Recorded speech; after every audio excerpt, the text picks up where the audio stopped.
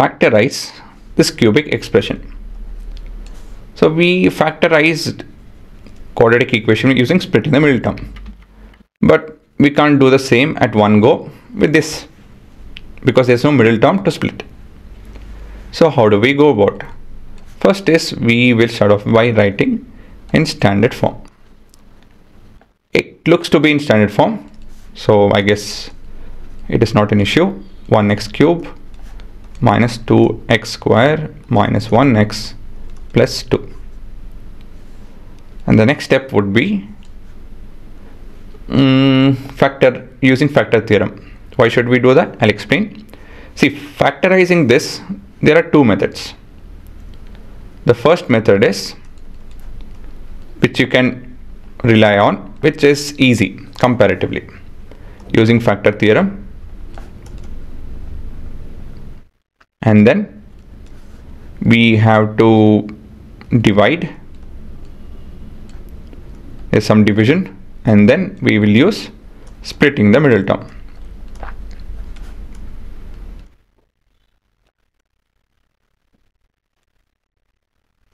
The second method is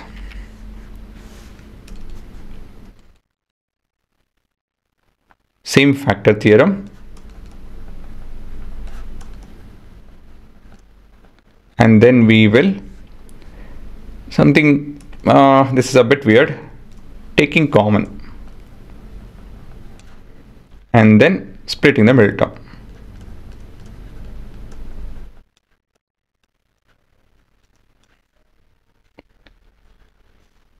okay this is all good. So what next? We have to uh, we'll have to start with factor theorem okay? So these are your methods. I'm going to use second method. So as per that method we have to use factor theorem. So first thing is we'll use factor theorem using factor theorem. So before we use the factor theorem okay I would like to uh, you know make you guys understand this. Actually more than understanding it is a process that you guys have to remember. You have to check if the coefficient of x cube term is 1 if you need to make if not check if if it's not 1 then you have to make it. How do you make it? I'll explain it in some other problem. Okay it's not possible over here. So we have to make if not check if x cube coefficient is 1. In this case it is in this case it is so you need not do extra step directly you can jump on to step B that is using factor theorem. So for that you need to write the constants factors. So what is the factor of 2? Plus or minus 1 plus or minus 2 these are the factors when it comes to integers right these are the integer numbers which can divide 2 with a remainder 0 now out of these four numbers pick one which you think can make this entire expression 0 that is p of x is equal to what do you what what do you think will make it 0 i think 1 so 1 into 1 cube minus 2 into 1 square minus 1 into 1 plus 2. So for the solving it 1 minus 2 minus 1 plus 2 which is equal to 0. What does it mean? This particular term, not term actually, this particular value makes the remainder 0. Right? It makes sense. I mean, that's what we did. So with this, what can we find? We indirectly found the factor say x is equal to 1 or x minus 1 is a factor. How did I tell that? Think about it. x minus 1 if it divides p of x the remainder will be 0. How did you tell that? With the remainder theorem. So what is the 0 of x minus 1? My question to you guys is what is the 0 of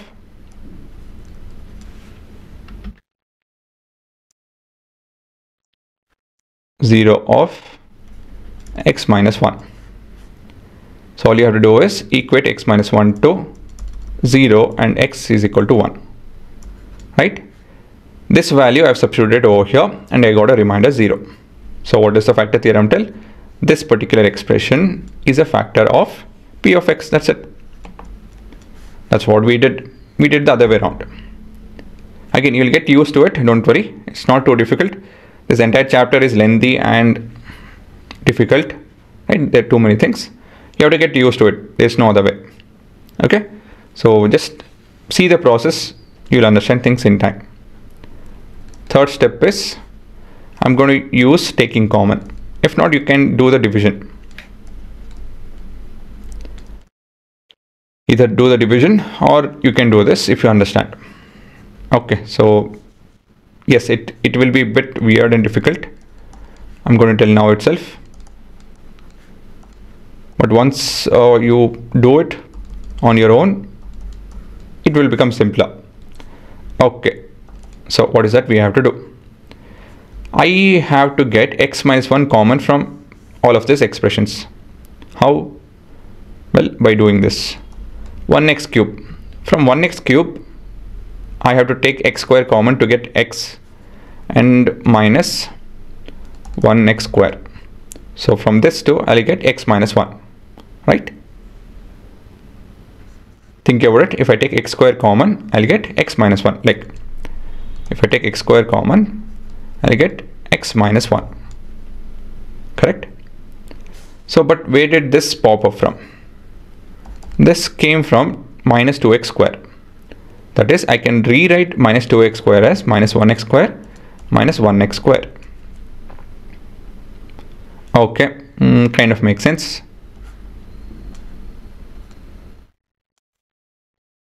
Again, I got minus 2x squared to split into minus 1x square and minus 1x square. How did I decide on that? Because I wanted x minus 1 common. So as per this term, I am doing things. Next step. From, uh, from this 2 I got x minus 1. From the next 2 I want x minus 1. For that, here I need to have plus 1x. By taking minus 1x, I'll get x minus 1. Think about it. Does it make sense? If I take minus 1x, I'll get x minus 1, x minus 1 from this. Okay, this came from, you know, minus 2x squared But how did we get plus 1x? That we got it from minus 1x by writing minus 1x as plus 1x and minus 2x. If you are able to understand this, you are done. Okay. And last, you just copy the last term.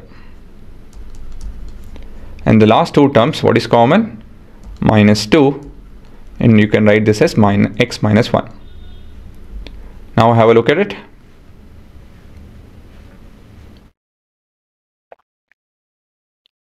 Right? So with all in all, we have x minus 1 as common and what is remaining? X square minus 1x minus 2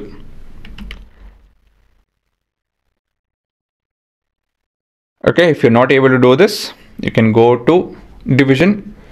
It's the same thing.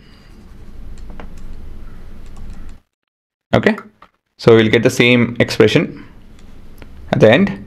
So this will be your quotient. X square minus 1x minus 2 so again, this is by splitting the two terms which are in the middle.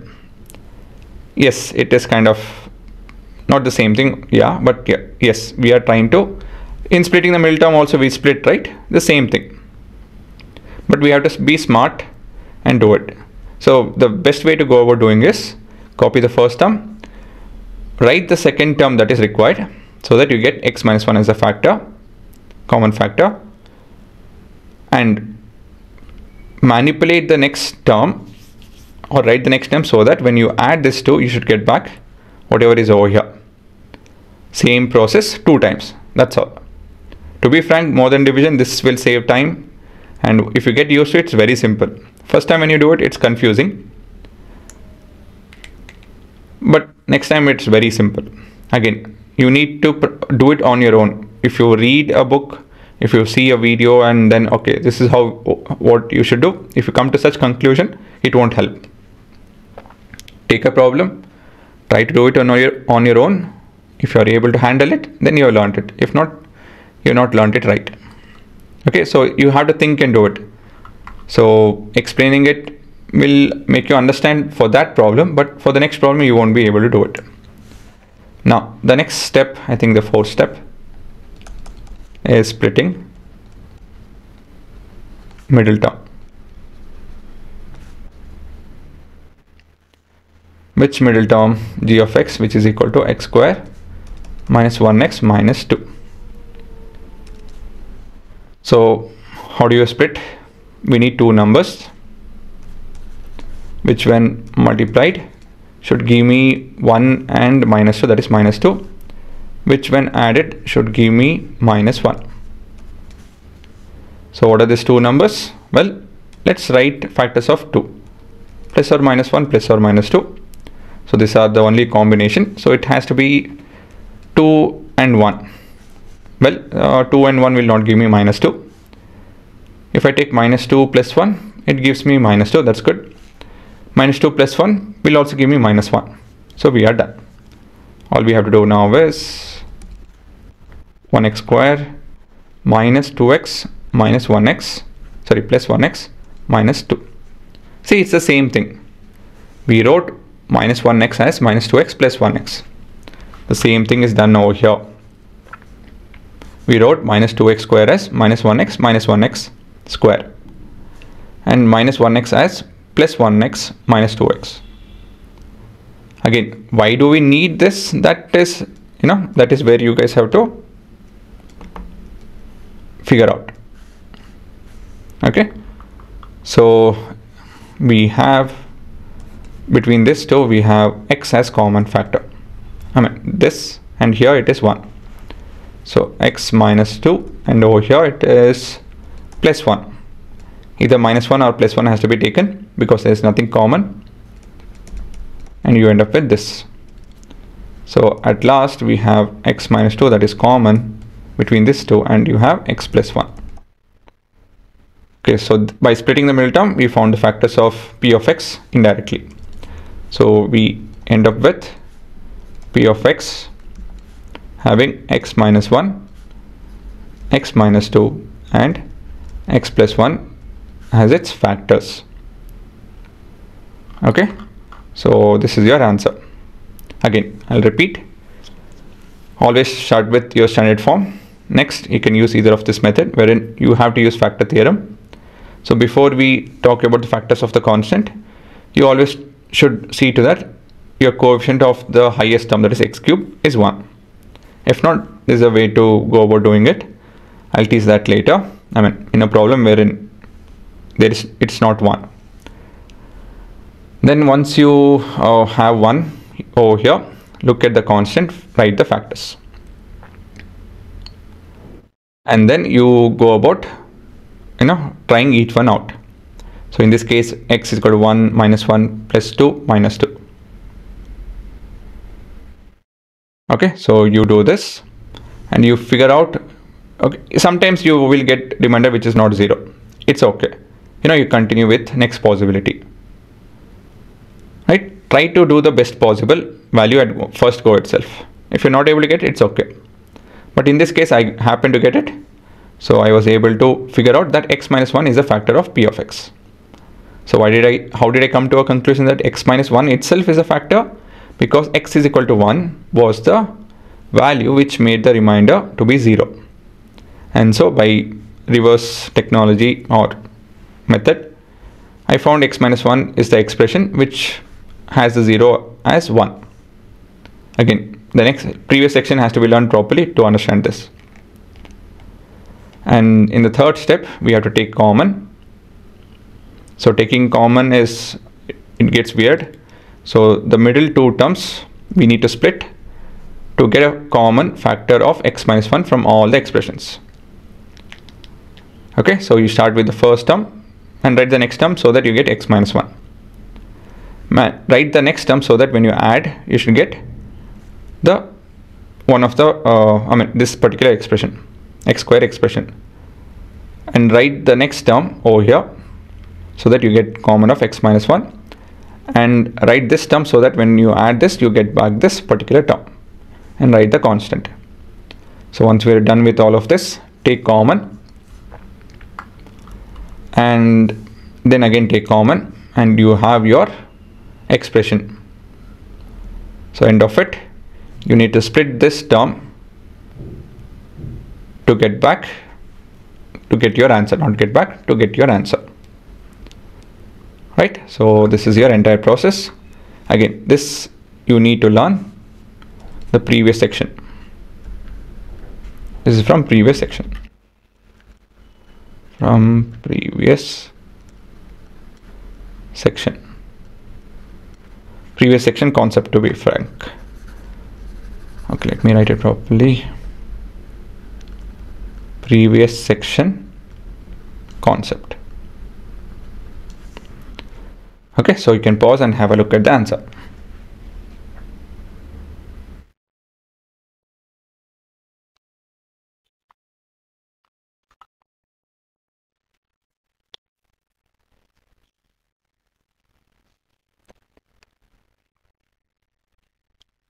So to end with, let's have this particular quadratic, sorry, cubic expression on a graph.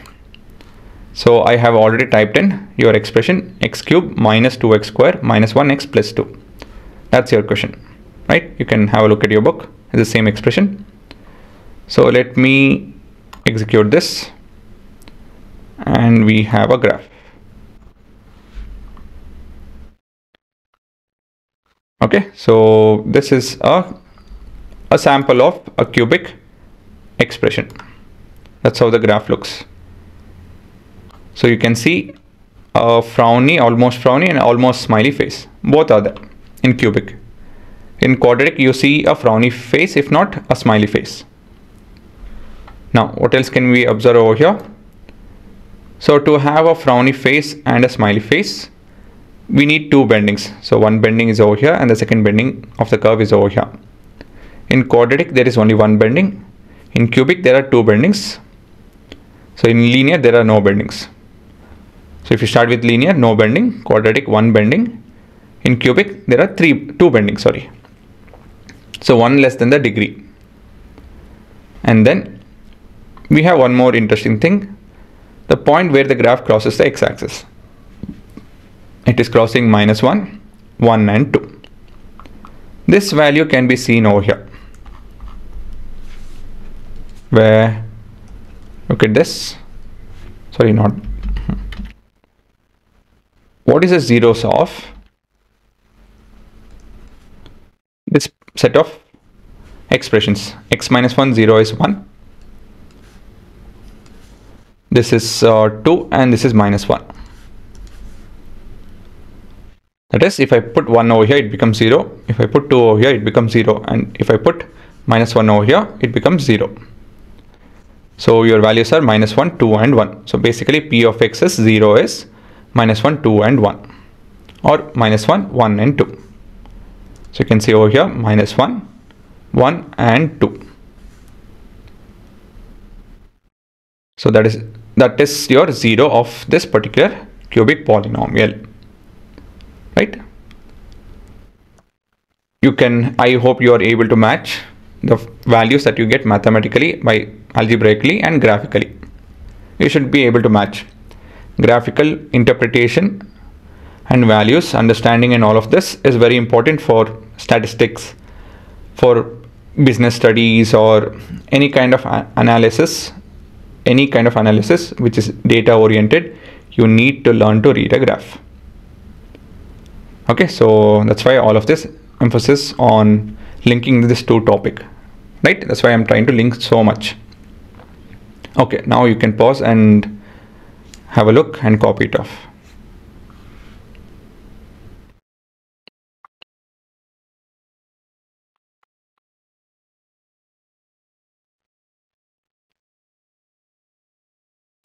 please enroll to our program at chalkpieceacademy.com wherein we'll be teaching you a lot more tricks for faster simplification calculation, uh, DIY projects. We'll code with Python.